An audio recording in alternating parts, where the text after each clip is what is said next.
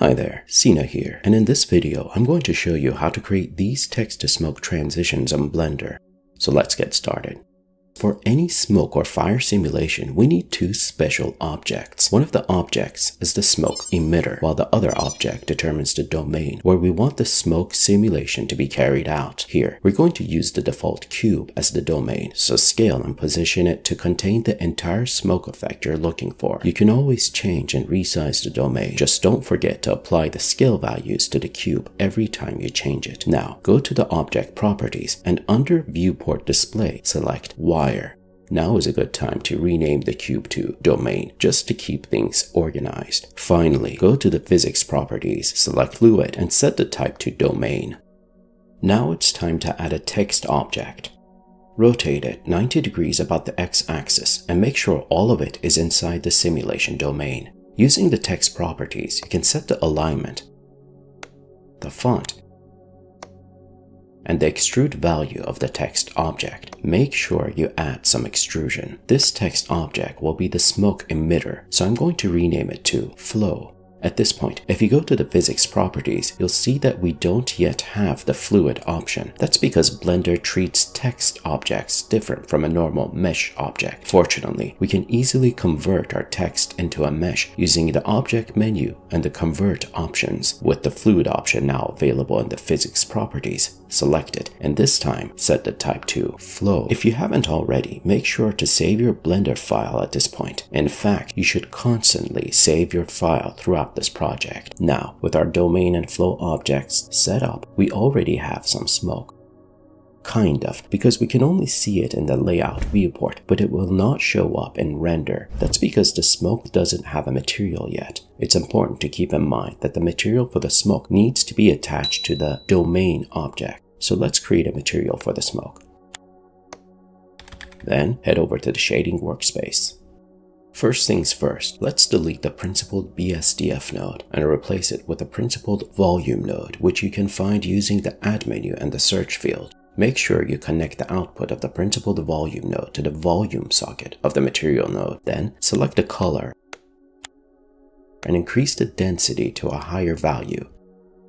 Now, if we go back to the layout workspace, we can run the animation and see the smoke render in real time. But just before we jump into all the smoke settings, let's improve the scene by adding a light source. I'm going to add a sunlight, increase its strength, and rotate it about the x-axis. And with that out of the way, let's get ready to spice up our smoke. Let's start with the domain object.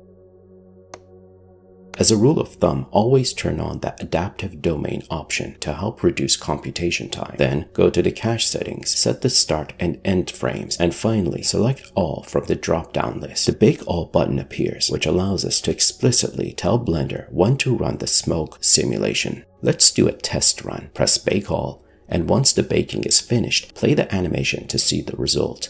Not too bad, it didn't take too long. That's because our resolution subdivision is at 32, which typically is too low to get good looking smoke. Regardless, let's leave it at 32 for now, knowing that we'll be increasing it to 128 later down the line. The adaptive domain and the cache settings help speed up our workflow, but they don't affect the behavior of the smoke. The first setting we'll be using that will actually change how the smoke behaves is the dissolve option. You can find this option under the gas settings. Turn on dissolve to make the smoke gradually disappear over time, then bake and play the result. Since we're going to be pressing the bake button quite frequently, now is a good time to open a small view just for this button right here in the corner. To do this, right click on the edge, select horizontal split and drag the border up. Now scroll to the top and make sure you are on the properties view. Then press the pin icon to lock this view to our domain object. From now on, we will always have convenient access to the bake button. Our text looks like a blob right now, so let's make it more clear to something that you can actually read. To do this, we're going to increase the resolution to 64 since we can afford to spend more time on baking we can see that the text looks a bit better, but not quite what we want yet. So let's hop over to the flow object, which if you remember is the object that emits the smoke. Here we have the surface emission parameter. This parameter determines the distance from the surface where the smoke is emitted. Set it to zero so that emission takes place exactly on the surface Next, we have the volume emission parameter. This parameter determines how deep into the object the smoke is emitted. Let's set this to the max value of 1, meaning that we want smoke to be emitted from the entire volume. Now, using our convenient bake button, let's run the simulation and watch the result. Much better. We can now actually read the text but it still looks pixelated. Soon, I will show you how to increase the resolution of the text without having to increase the resolution of the simulation. But before that, we're going to go through a few more parameters that affect the behavior of the smoke to make it look more stylish. So, select the domain object and go to the shading workspace. The plan is to add some color variation to the smoke. To do this, use the add menu to bring in a color ramp node and an attribute node. In the name field of the attribute node, type in density. The result of these two additional nodes is that you can adjust the color of the smoke at any given point as a function of the density of the smoke at that point. Feel free to change the color or even add more color tabs on the color ramp node. Let's run the animation to see what we have. Notice that I didn't need to rerun the simulation for the changes to show. That's because we didn't really change the physics of the smoke. We only changed the material that is being applied to the smoke. So, as I promised earlier, let's increase the resolution and see what happens.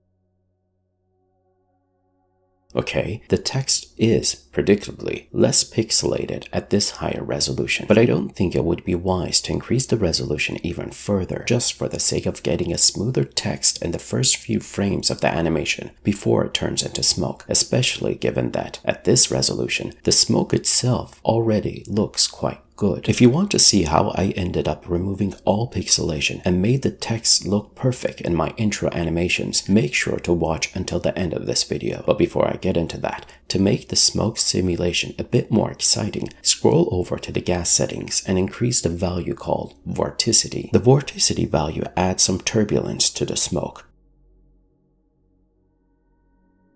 Let's also turn on noise. This will add more detail to the smoke. The parameters under the noise setting allow us to fine tune these details.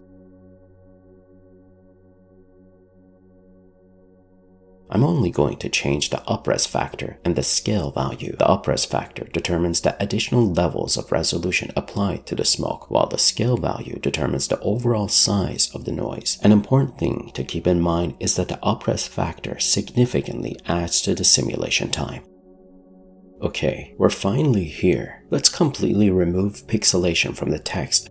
The naive way of doing this would be to increase the resolution. Don't be naive. The clever way to do it, on the other hand, would be to use the original text object. We're not seeing it right now because we hid it a while ago, but let's bring it back. Then go to the shading workspace and create a material for the text object. Delete the principled BSDF node and replace it with a principled volume node. Set the color and the density here to be the same as the one we had for the domain object. Now that the smoke has a body double, we can switch them over any frame of the timeline to make one appear and the other disappear. Meaning that on the first frame, we're going to render the original text object and then remove it from the second frame onward. Conversely, for the smoke, or in this case, the domain object, we're going to disable it on the first frame and then enable it from the second frame onward. Now, if we go ahead and render the entire animation, we get You can find more Blender tutorials on my channel and don't forget to subscribe to get notified about new videos. As for this one, thank you for watching and until next time, take care.